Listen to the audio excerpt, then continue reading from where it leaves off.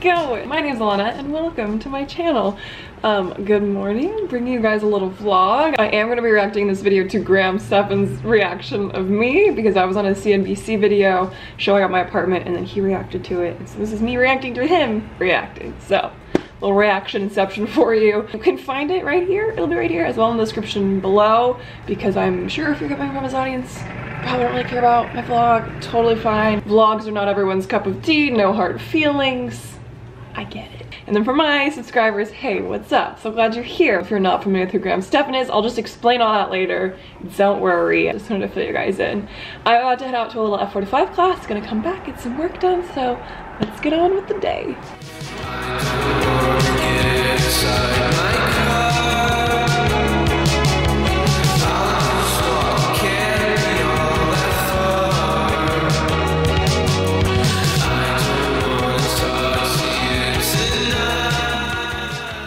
Greetings, hello, good morning. I'm all ready for my day. And the time has come for me to react to Graham Stephan's video of me on his channel. So I got my monitor right over here. Here's the video. And I'm really nervous. So if you're not familiar with Graham Stephan, let me explain a little bit. So CNBC reached out to me to be in a video of theirs, basically showing off my apartment, talking about how much I pay, talking about New York City, the whole deal. And then I got a DM from Graham um, like several days after it came out. And he's like, heads up, I'm going to do a reaction of your video. And I literally screeched. I was like with my boyfriend at the time. He's like, are you okay? I was like, oh my God, I just got a DM from Graham. If you're not familiar with this channel, he basically makes videos all about finances, money, real estate, and he also does a lot of reactions of people and how they spend their money essentially on uh, specifically a lot of CNBC videos. So I've seen like all of his videos. So for one, I fangirled a little bit where I was like, oh my God, I'm gonna be on his channel. And then two, I was like, I'm terrified because does not go easy and I wasn't sure what he was gonna say about my apartment. So today I'm going to be watching the video for basically the first time. I watched the first few minutes and I was like, oh wait, I should save this and film it because you know, that's some prime YouTube content right there and Graham's inspired me to make sure I'm, you know, monetizing my life. Oh, also, if you watch his videos, you know how good he is about telling people to smash that like button and hit the notification bell for the algorithm. So I'm gonna take a moment to uh, say the same. If you're new here, feel free to subscribe. If you've been around for a while, make sure you like this video. Make sure you hit that notification bell. It would help me a lot. I'd appreciate it. Let's dive in. I'm really scared. I don't know why I'm so nervous to click. Oh, my name is Graham and welcome to my show and uh, out of nowhere, CNBC Make It just threw us this massive curveball and came out with a brand new series posted for the first time ever. It's called Living in a $5,150 a month apartment in NYC. Wait for it, unlocked. What I find interesting is that they have this one I see here. Elena Taber. Taber. No tab taber tab taber top topper i don't know. This is my life in a nutshell. I don't know why people struggle with it so much. It's elena. I tell people it rhymes with mckenna because it helps. Otherwise i get elena i get elena i get elena i get alana. I literally get everything but my name my entire life. Like most of my teachers would get it wrong despite me correcting them. My own grandpa mispronounced my name for the first like three years of my life. It's elena You're not alone, Graham. I don't know how to pronounce her last name. But anyway, I know her because she has a YouTube channel. And I, I see all the YouTube channels out there. So you know let's see how she spends $5,150 a month. I moved to New York City. I knew it was going to be hard to find an apartment, but I don't think I realized quite how hard. And I don't think I realized that I was going to have to give up like literal daylight and, you know, space to store items and whatnot. Giving up daylight. Try moving to Alaska. okay, I meant daylight in the sense that, okay, sorry, I touched my hair and I'm nervous. I'm going to try not to touch my hair. I meant daylight in the sense that my living room doesn't have a window and it's like a dark cave. Okay, anyway. That's the issue with living in between buildings is like you just get direct sunlight a few hours a day, that's it, which is, which is a shame. I, I think we need sunlight. My name's Elena, and I am 23 years old, and I live in New York City. Elena. Why did I think Elena? Elena. I got, I got that you. wrong. Sorry about that. I live in a three-bedroom apartment with two roommates. and together we pay $5,150 in rent each month, and then I personally pay 1850 for my room. That's not that bad though. When you account for New York City, the cost of housing is through the roof. It's actually Okay, been one of the thank you, Graham. See, he gets it. I figured he'd get it. He's a real estate agent. Of course, all the comments, which I was honestly expecting, I wasn't surprised, on the CNBC video where you're like, you're paying so much money, that's ridiculous. Like, why don't you move to Ohio and you can get a five bedroom apartment for the same right? I'm like, because I don't want to live in Ohio. I'm trying to live in New York City. And I feel like for New York City, we actually got a good deal. And I feel very affirmed in this moment. Thank you, Graham. First moved in here, I was really stressing about the rent. I kind of viewed this apartment as an investment because I'm like, well, if I don't live in New York forever and I hopefully won't be paying this much rent forever, I knew it was worth that little, you know, extra push. Okay, also, I read a lot of comments where people were like, somebody needs to teach this girl what investment means. I'm like, I did not mean financial investment. No doubt, renting is not a good financial investment. I meant personal investment for my career, the things I want to do, the way I want to progress personally, professionally, etc. Living in New York City is just far more conducive for that than to live in some small random city or town. Even just living here for two years, I feel like I have had way more doors open for me than I would have even expected living here. And it's really helped me kind of like advance the things I'm trying to do. So that's what I meant by investment. Yeah, you know what? I would actually, I would actually say it's pretty reasonable. You could see the, the paint chipping on the side. We got to make sure that's not lead-based paint that's that- chipping out there. But you know what? It adds, I think, to the character of the place. Some weird B-roll shots they got there. They're like, Elena, just, just go and take an apple. Just, take an apple. We'll film you doing that. And then right after you take the apple, go, go and play the guitar for a little bit. It's weird B-roll shots, but eh, what, what else can they do? Wait, it's so accurate. Okay, so they were filming here for a couple hours. They were super kind and obviously knew what they were doing. But yeah, for B-roll, they're like, why do you like, you pour yourself a glass of wine, want to like grab a fruit from the basket, play your guitar? I'm like, this is so unnatural. That's gonna look really weird. And also, I'm just learning the guitar. So if I look like I have no clue what I'm doing, it's because I have no clue what I'm doing. Like I just bought it a few months ago. I'm very slowly learning chords. I was like, I literally was like, do I like really need to be playing this as B-roll? Can we do something else? And she's like, it's fine, it'll look cute. And I'm like, oh my god, someone's gonna call me out for being like a guitar noob. Like, it looked like I'm drinking so many times with this video, even though it's like one repeated glass. It's interesting B-roll. The Hunt. It looks like we're watching this like National Geographic, The Hunt, the, the wild humans. Oh wait, I got to do the accent. The wild human. I, I can't do I can't do the English accent very well. Search out the the next hunt for. Sh- I, I don't know. Never mind. That was stupid. This is going to be the end of the road for a lot of salmon.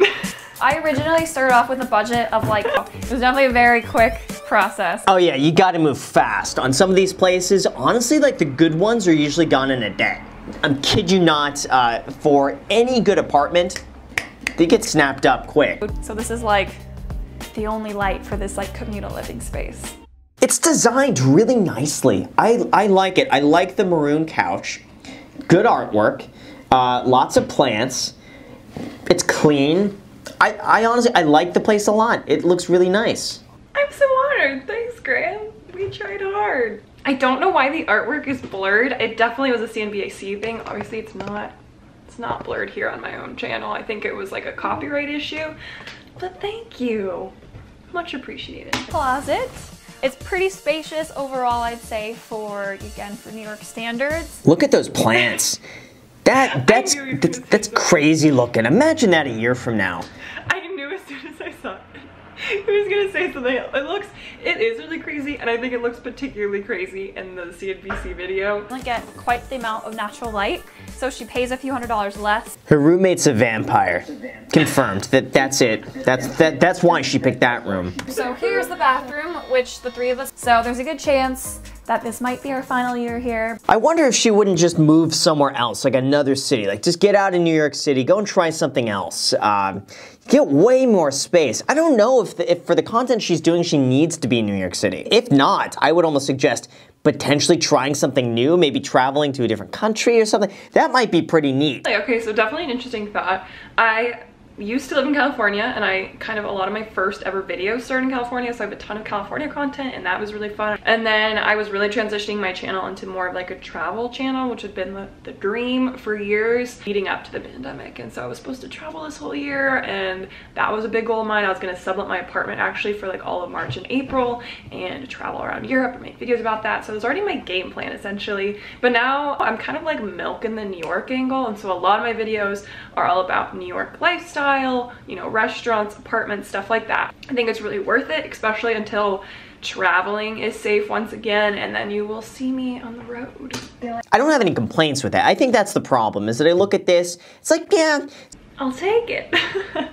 that's a, that's a relief. I wasn't sure if I was gonna get out okay on this one. $5,000 a month rent is not sustainable living, Gerard Miller. I actually really don't think it's that bad. 1850 a person really is not that bad, especially for a location like New York City. I just don't know if she needs to be in New York City for her content. And if the answer is no to that, I'd probably leave.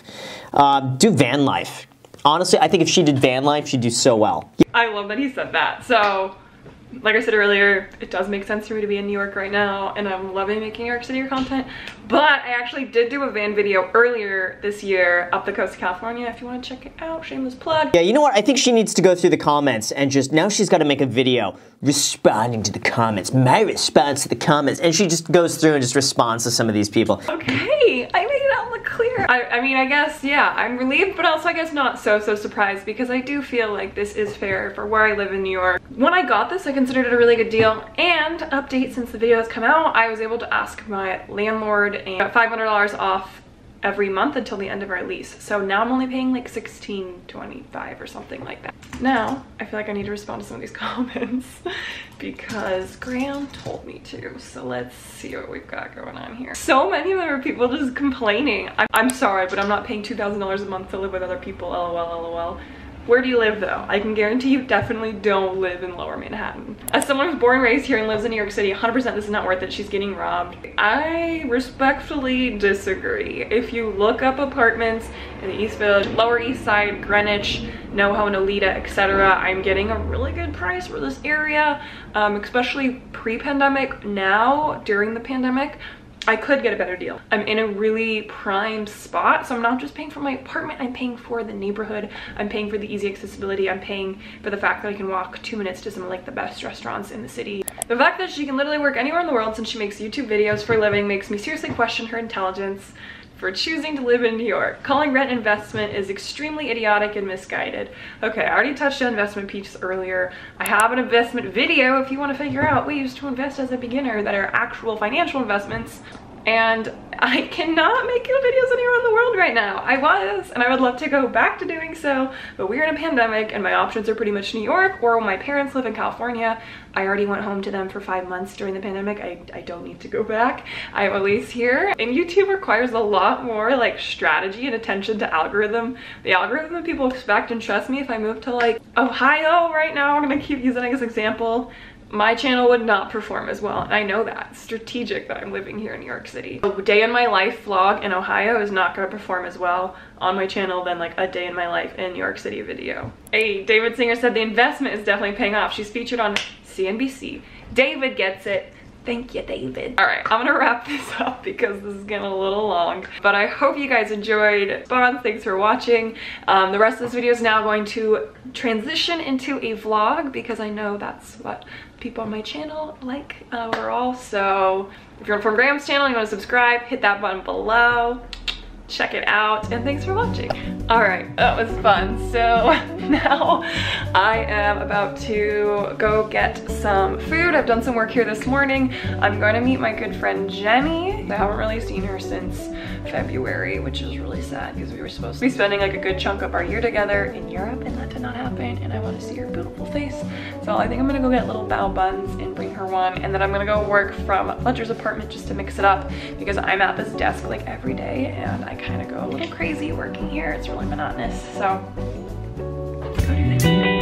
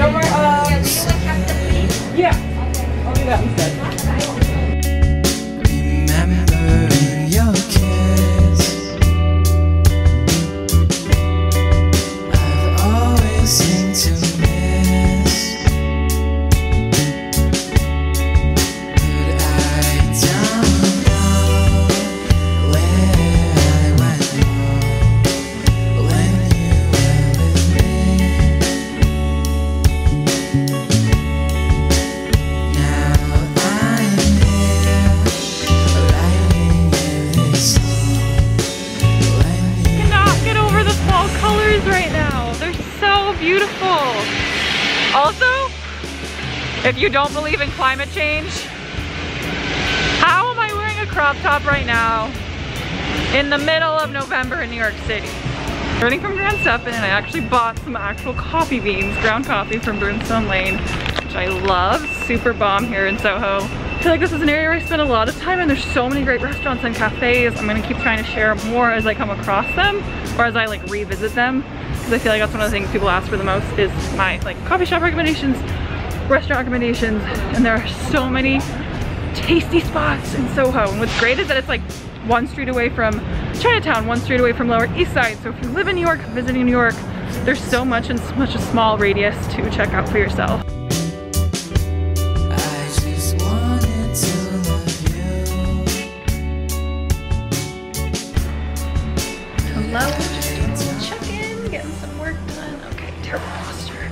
To wrap up a little video. Feeling pretty productive, getting a good amount done. Swatch is over there working with the soundproof headphones so we can't hear this right now. Look how good he did decorating with this spot. So proud of him. The cool velvet couch. So nice just having somebody even like several feet away to work next to because I feel like it just makes me so much more motivated to work near somebody. I really miss having a co-working space for that reason because I'm staying on track, getting my stuff done.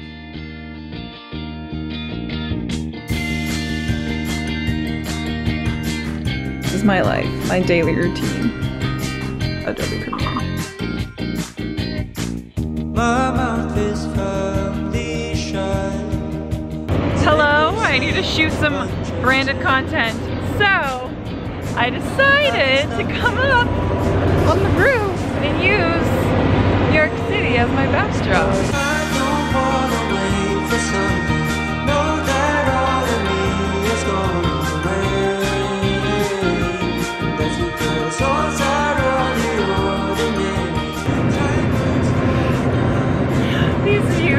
Butterflies. I know I've lived here for over two years, but I 100% get butterflies every time I come up on a rooftop in New York City and see the skyline. But the pain's annoying me. Like, are you kidding me? The rest of it. insane. Okay, just gonna get some really lopsided content. Professional I am, it's all fake. Everything is fake. Don't believe what you see on social media. It is almost five o'clock and then I have an F45 workout class. I decided to splurge on them for the next month as like a birthday gift to myself. Even though it's putting myself through a lot of pain. I, sorry, it's really loud in the background, but I figured if I'm gonna spend money on anything this year, it should be health and wellness. Guys, come on, that's the Empire State Building right there. That doesn't get old. I guess for someone that didn't grow up here and only moved here a couple years ago, that's not gonna get old anytime soon for me.